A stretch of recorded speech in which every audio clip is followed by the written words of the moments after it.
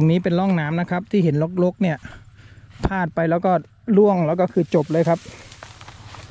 เห็นไหมครับ มีปลาด้วย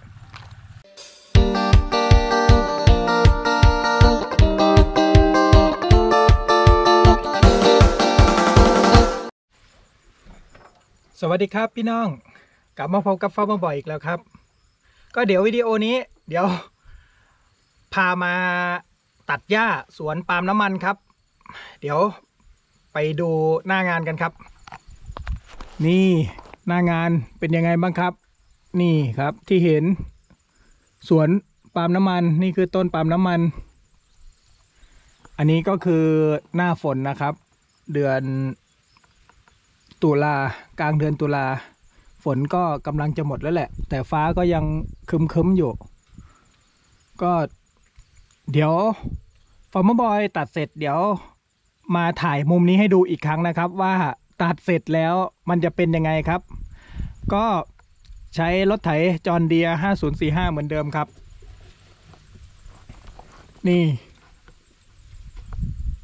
หางตัดหญ้าของ KLF ครับ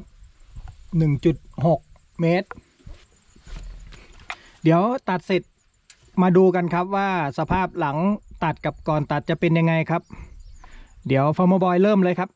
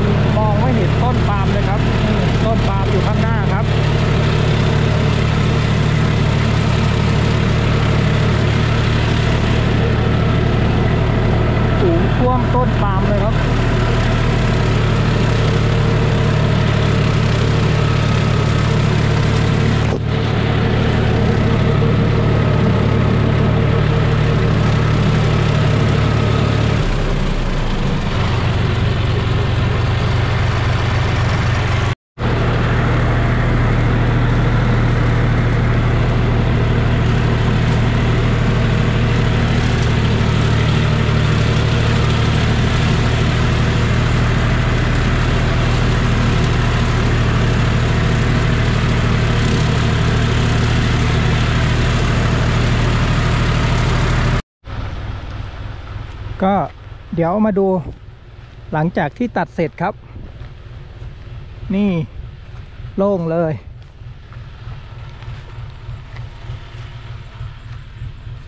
นี่ช่องนี้ก็โล่ง แต่ปัญหาคือตรงระหว่างต้นนะครับ มันตัดไม่ได้ เนื่องจากอะไร นี่ครับ มีต้นกล้วย ปลูกกล้วยไข่แซมอยู่ครับ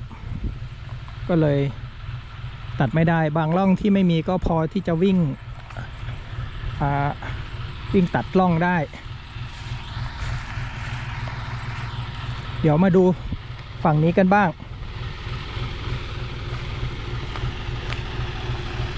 อันนี้มีที่ดักปลาครับ ทางอีสานเรียกตรงตรงดักปลา ไม่รู้ติดหรือเปล่าครับ มีปลาเข้าหรือเปล่าก็ไม่รู้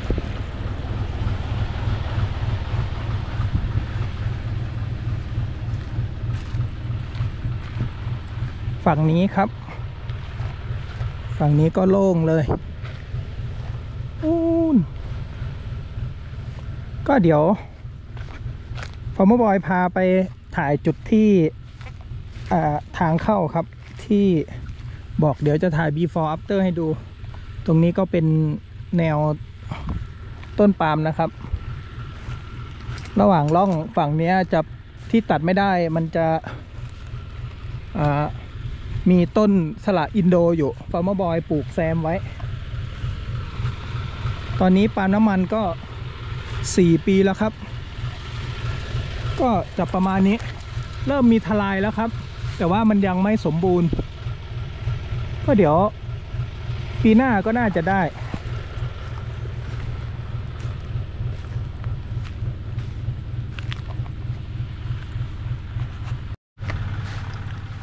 ครับผมก็ตอนนี้ก็เสร็จเรียบร้อยแล้ว เดี๋ยวมาดูกันว่า before after ของการตัดหญ้าสวนปาล์มครั้งนี้เป็นยังไงบ้างครับ ต้องยอมรับเลยครับ ใช้เวลาก็สองชั่วโมงกว่าเหมือนกัน นี่ครับจุดที่ Farmer Boy ถ่าย before ไว้ตอนแรก ก็นี่เริ่มโล่งออกแล้ว เห็นต้นปาล์มแล้วครับหญ้ารกมากครับ สูงมาก ปาล์มสี่ปีครับ นี่ เป็นร่องปาล์มไปเลย รถวิ่งได้สามรอบอยู่ครับสองรอบกว่าแหละ เพราะว่าไอการปาล์มเริ่มยาวออกมาแล้ว ที่ข้างๆที่ตัดไม่ได้ เพราะว่ามันมีกล้วยไข่ครับ กับสละอินโด ก็เลยวิ่งซิกแซกสลับฟันปลาไม่ได้ ตรงนี้เป็นร่องน้ำนะครับ ที่เห็นลกๆเนี่ยพลาดไปแล้วก็ล่วงแล้วก็คือจบเลยครับ เห็นไหมครับ มีปลาด้วยร่องน้ำในสวนครับ เอาไว้เวลาหน้าแล้งนี่อีกช่องหนึ่ง เป็นร่องน้ำไอรอบสวนเลยครับ นี่ครับที่บอกว่าทำไม ระหว่างต้นตัดไม่ได้ เนี่ยครับ มีสละอินโดปลูกอยู่แล้วก็มีกล้วยไข่ครับ อ่าก็คงไม่มีปัญหาอะไรครับ พวกนี้ เพราะว่าอ่าปาล์มใบปาล์มครับ ต้นปาล์มก้านปาล์มสูงกว่าเขาหน่อยแล้วเนี่ยสูงกว่าหญ้าหน่อยละ ก็สังเคราะห์แสงได้ละ ตรงพวกนี้คือลงไม่ได้เลยนะครับ นี่คือร่องน้ำเลย ไม่งั้นแล้วก็ได้โทรเรียกพวกมาลากขึ้นแน่ ก็ เดี๋ยวมาดูอีกฝั่งหนึ่งไม่รู้จะข้ามได้หรือเปล่าครับ เดี๋ยวข้ามร่องน้ำไปก่อน อันนี้ตรงดักปลาครับ นี่อีกฟากหนึ่ง อันนี้ก็เป็นร่องน้ำนะครับที่เห็นลกๆเนี่ยพลาดไม่ได้เลย นี่ครับ ฟาร์มบอยขุดร่องน้ำไว้รอบเลย เผื่อหน้าแล้ง แล้วก็อย่างหน้าฝนอย่างนี้ด้วยแหละครับ เพราะว่าใช้ระบายน้ำด้วย เก็บน้ำไว้ด้วย ปาล์มชุดนี้ ปาล์มรุ่นนี้ก็ประมาณร้อยต้นครับ นี่ ตอนนี้ที่ได้ผลผลิตอยู่ก็เนี่ยครับ เป็นกล้วยไข่ ขายได้ตลอดเลย ก็สำหรับวิดีโอนี้ ลาไปก่อนครับ ก็ผิดพลาดยังไงก็ต้องกราบขออภัย ไว้ณที่นี้ด้วยนะครับ ก็ถ้าสงสัยเรื่องไหนก็คอมเมนต์ไว้ใต้วิดีโอเลยครับ ก็ฝากกดไลค์กดแชร์ กดติดตามด้วยนะครับ เดี๋ยวมีวิดีโอเรื่องการเกษตรเรื่อง DIY เรื่องงานซ่อมต่างๆ ดีๆ เดี๋ยวฟาร์มบอยมาแชร์ ไว้เรื่อย ๆ ครับ